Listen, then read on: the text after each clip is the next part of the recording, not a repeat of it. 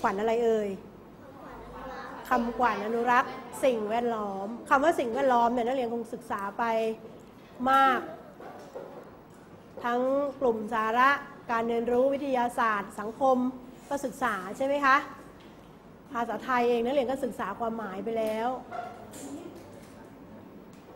สิ่งแวดล้อมนี่จำเป็นไหมว่าต้องเป็นต้นไม้ เป็นภูเขา เป็นแม่น้ำเป็นทะเล เป็นอิฐหินดินทรายอย่างเดียว ใช่ไหมไม่ใช่ความรักใช่สิ่งแวดล้อมไหมยาเสพติดใช่สิ่งแวดล้อมไหมคะใช่ ความสามัคคีใช่สิ่งแวดล้อมไหมใช่นะคะเป็นนามธรรมใช่ไหม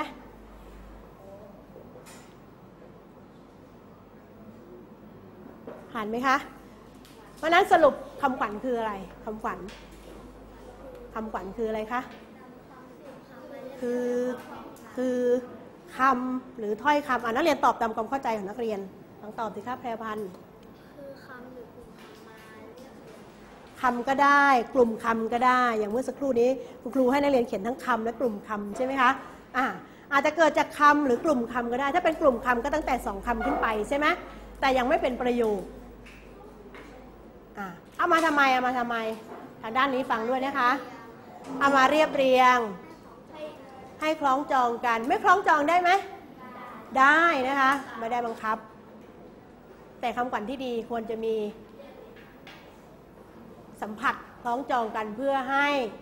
จดจำได้ง่ายใช่ไหมคะ ที่คล้องจองกันก็จะจดจำได้ง่ายกว่าที่ไม่คล้องจองกันอะอะไรอีกช่วยกันเสริมหน่อยแพรพันธ์บอกว่า คำขวัญคือถ้อยคำที่นำอ่าถ้อยคำหรือกลุ่มคำที่นำมาเรียบเรียงมีลักษณะคล้องจองกันอ่าสุธิดาคนอื่นฟังด้วยนะคะ ให้ทำตาม ให้ทำตาม หรือเตือนใจได้ไหมได้ ใช้เป็นให้เป็นสิริมงคลได้ไหมได้ ได้ไหมคะ ได้ ได้นะคะ ได้หมดเลย ปรบมือดังๆให้สุธิดาและแพรพันธ์ด้วยค่ะ ถ้าไปเปิดในพจนานุกรมเนี่ยเรียนจะพบความหมายของคำขวัญ ว่าคำขวัญคือถ้อยคำที่แต่งขึ้นเพื่อเตือนใจหรือให้เป็นสิริมงคลนะคะอาจจะเพื่อให้คนปฏิบัติ หรือละเว้นการปฏิบัติได้ไหมให้ละเว้นการปฏิบัติได้ไหมก็คือไม่ให้ทำได้ไหมคะแต่งคำขวัญมาเพื่อให้คนอ่านเนี่ยพออ่านคำขวัญแล้วไม่ทำจำเป็นไหมว่าคำขวัญนี้แต่งขึ้นมาแล้วต้องให้คนปฏิบัติอย่างเดียว ไม่จำเป็นใช่ไหมคะ ให้คนหลีกเลี่ยงการปฏิบัติก็ได้ เช่น สิ่งไม่ดีอย่างเงี้ยยาเสพติด แต่งคำขวัญยาเสพติด ยาเสพติดนี่เราควรยุ่งเกี่ยวไหม เพราะนั้นควรปฏิบัติหรือไม่ควรปฏิบัติอ่าก็ขึ้นอยู่กับการอาจุดมุ่งหมายในการแต่งแล้วอาจจะให้ละให้เลิกการเสพยาเสพติด เพราะฉะนั้นก็จุดมุ่งหมายก็มาให้มาให้คนหันไปยุ่งเกี่ยวกับยาเสพติด ก็คือให้ละเว้นการปฏิบัตินั่นเอง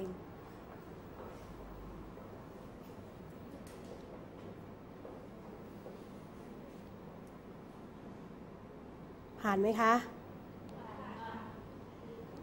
การเขียนคำขวัญก็มีจุดมุ่งหมายนักเรียนคิดว่าจะเขียนคำขวัญถ้าคำขวัญหนึ่งมีจุดมุ่งหมายไหมมีการเขียนทุกประเภทมีจุดมุ่งหมายทั้งสิ้นใช่ไหมคะ แล้วแต่ว่าจะเขียนอะไร เขียนไปเพื่ออะไร ก่อนจะเขียนอะไรก็ต้องรู้ก่อนว่าเรามีจุดมุ่งหมายในการเขียนอย่างไร ก็คือเขียนไปเพื่ออะไร เขียนไปเพื่อโน้มน้าวใจ เขียนไปเพื่อตักเตือน เขียนไปเพื่อให้ยึดถือเป็นแนวทางในการปฏิบัติ เขียนเพื่อให้เป็นสิริมงคลกับหน่วยงานได้ไหมได้นะคะอ้าวไปดูคำขวัญมีจุดมุ่งหมาย จากการสังเกตคำขวัญทั่ว ๆ ไปไม่ว่าจะติดอยู่ตามข้างทางหน่วยงานต่างๆ ทั้งราชการและเอกชนเนี่ย จุดมุ่งหมายในการเขียนคำขวัญเนี่ยก็พอจะบอกได้หลายข้อด้วยกันข้อแรกนะคะ เพื่ออะไร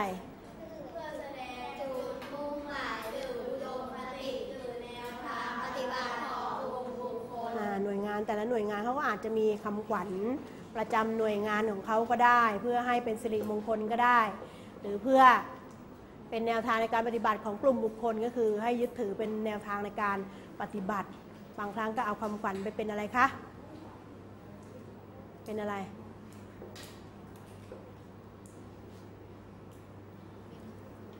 เป็นที่ยึดเหนี่ยวจิตใจของบุคคลใน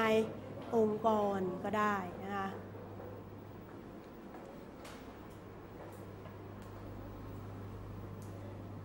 ไปเป็นอุดมคติได้ไหม เป็นอุดมคติขององค์กรได้ไหม ได้ หลาย ๆ หน่วยงานเนี่ย หน่วยงานทางราชการก็มักจะมี เชิญชวนประชาชนทั่วไปและนักเรียนนักศึกษา ประกวดอะไร ส่งคำขวัญเข้าประกวดใช่ไหมคะ เช่นอะไรตำรวจเราจะมีเชิญชวนนักเรียน ให้แต่งคำขวัญพอเขาได้คำขวัญไปแล้วเขาก็จะคัดเลือกคำขวัญที่ดีๆ แล้วก็นำไปเป็นอะไรคะ อุดมคติหรือแนวทางปฏิบัติของ หน่วยงานของตนเอง ผ่านไหม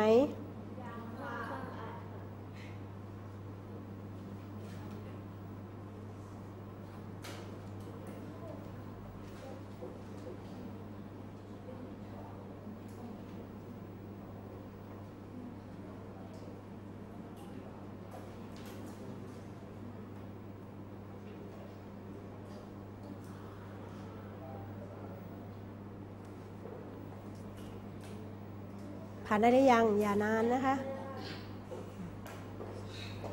ยกตัวอย่างดีไหมอ่านักเรียนลองดูสิ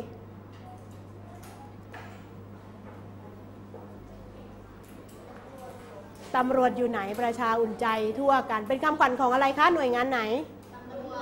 ของอ่าตำรวจพอเห็นก็บอกได้ทันทีเลยว่าตำรวจ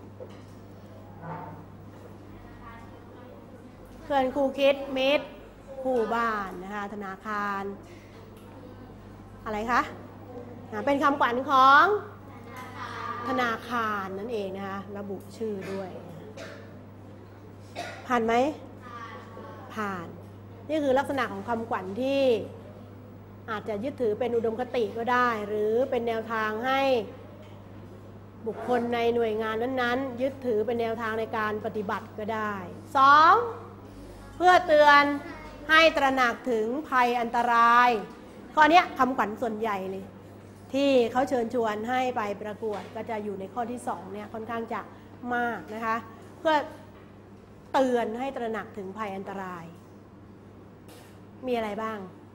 มีอะไรบ้าง ที่เตือนให้ตระหนักถึงภัยอันตรายคาดเข็มขัดอ่าสุธิดาบอกคาดเข็มขัด เข็มขัดอะไรเล่าเข็มขัดนิรภัย เข็มขัดนิรภัย สวมหมวก กันน็อกกันน็ อะไรอีก การขับรถใช่ไหมคะ การการขับรถการเคารพกฎจราจรให้เห็นประโยชน์หรือคุณค่าหรือความเป็นจริง ให้เห็นประโยชน์ก็อย่างเช่น การปลูกต้นไม้ การอนุรักษ์ ต้นไม้ การอนุรักษ์พลังงานต่างๆ ใช่ไหมคะหเห็นคุณค่าของพลังงาน แล้วก็ให้ช่วยการอนุรักษ์ไว้ เป็นการเตือนสติและเตือนใจในเรื่องใดเรื่องหนึ่ง เตือนสตินักเรียนนึกถึงสิเตือนสติ มีอะไรบ้างเตือนสติ ให้คนนึกถึง เมาไม่ขับหลับไม่ตื่นฟื้นไม่มีหนีไม่พ้น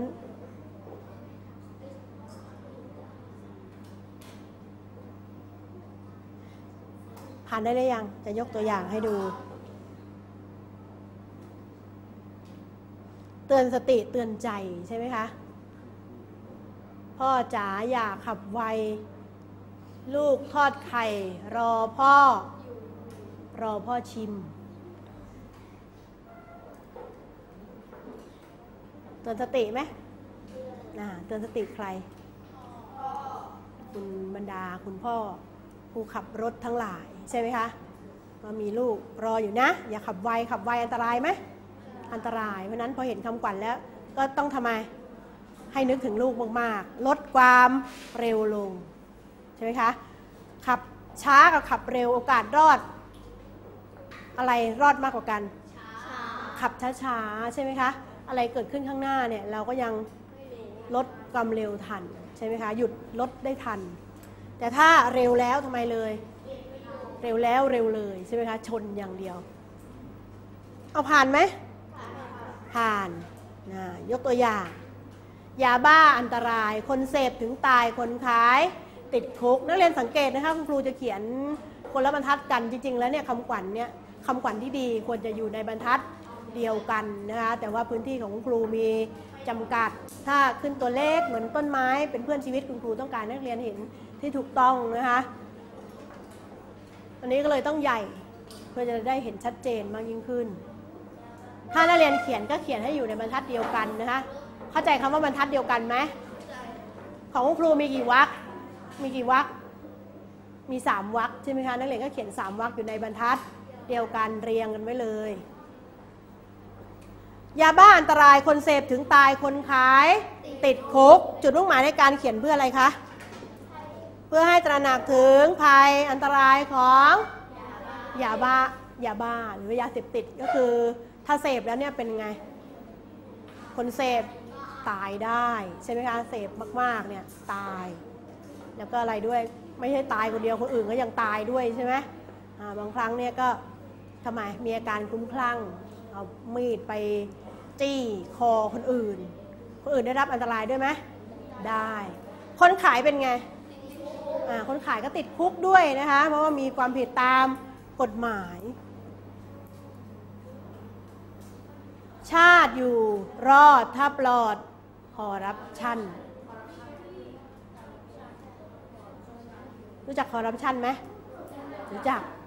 คนดีหรือคนไม่ดีคนคอรับชันคนไม่ดีนะคะนักเรียนโตขึ้นจะเป็นคนคอรับชันไหมไม่นะคะถ้าเป็นข้าราชการก็เป็นข้าราชการที่ซื่อสัตย์สุจริต ชาติอยู่รอดถ้าปลอดคอร์รัปชันชาติอยู่ไม่รอด ถ้าไม่ปลอดคอร์รัปชันเพื่ออะไรคะเพื่ออะไร เพื่อเตือนสติให้คนเนี่ยนึกถึงความซื่อสัตย์สุจริต ใช่ไหมคะ ถ้าไม่ซื่อสัตย์สุจริตเนี่ยคอร์รัปชันโกงเงินทุกอย่างเลยเนี่ยเป็นไง เงินแผ่นดินแทนที่จะมาบริหารราชการแผ่นดิน กินอิฐกินหินกินปูนกินทราย เป็นไงคะ ประเทศชาติก็เสียหาย ใช่ไหม ถนนสร้างแทนที่จะได้มาตรฐานก็เป็นไงสามวันพัง ใช่ไหม เป็นหลุมเป็นบ่อเหมือนโลก อะไรเลยเหมันดาวอะไร เหมือนดวงอะไร ดวงจันทร์นี่จริงๆขรุขระหรือเปล่า ผ่านไหมคะ สามเพื่อเรียกร้องเชิญชวนจูงใจ ให้เชื่อมั่นหรือปฏิบัติในเรื่องใดเรื่องหนึ่ง เรียกร้องก็ได้ เรียกร้องให้คนหันมา สามัคคีกัน หรือเชิญชวนก็ได้ เรียกร้องนี่รู้สึกจะไม่ค่อยไม่ค่อยดีใช่ไหมใช้คำดีไหมเรียกร้องนี่ดีไหมไม่ค่อยดีใช่ไหมคะแต่ถ้าบอกว่าเชิญชวนล่ะโอ้โหเชิญชวน อีกดีขึ้นมาอีกระดับไหมดีกว่าใช่ไหมคะ เชิญชวนหรือว่าจูงใจให้เชื่อมั่นได้ไหมให้เชื่อมั่นยังไงลองยกตัวอย่างสิให้เชื่อมั่นในความดีได้ไหมคะให้ปฏิบัติในเรื่องใดเรื่องหนึ่ง ได้ไหมได้ ยกตัวอย่างเช่น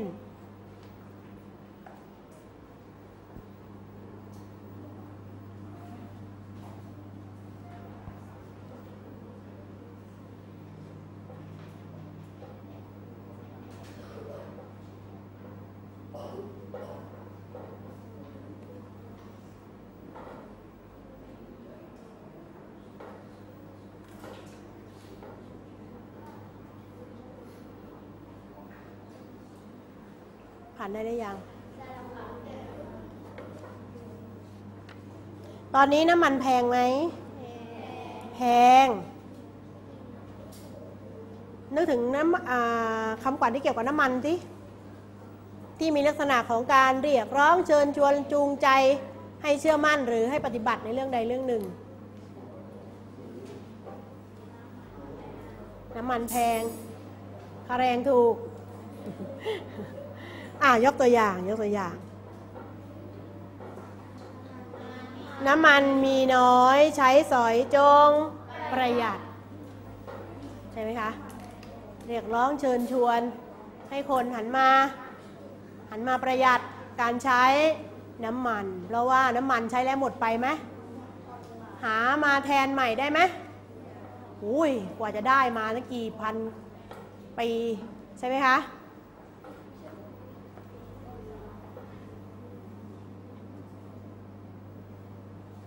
ตายแล้วเกิดเกิดแล้วตาย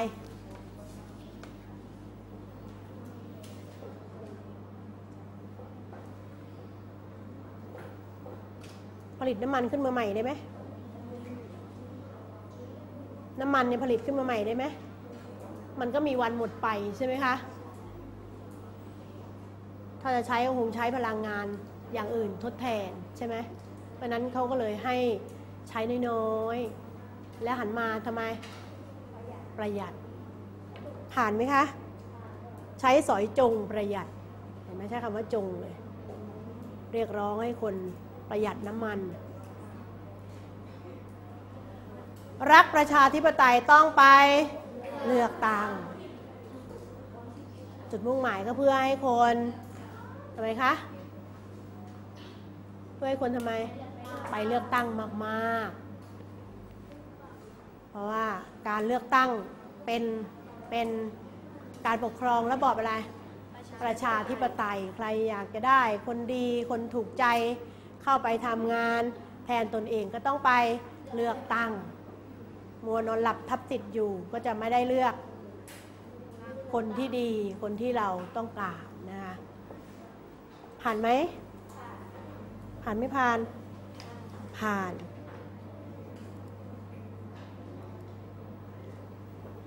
อ่านหนังสือวันละหน้า เพิ่มคุณค่าแก่ชีวิต จูงใจให้ทำไมคะ อ่านหนังสือ อ่านหนังสือ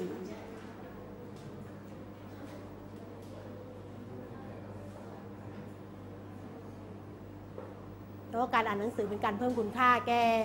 ชีวิต ถ้าไม่อ่านหนังสือชีวิตมีค่าไหม ไม่มีค่า ผ่านไหมคะ ไปดูหลักในการเขียนคำขวัญคุณครูจะไปอย่างรวดเร็วนะคะนักเรียนไม่ต้องบันทึก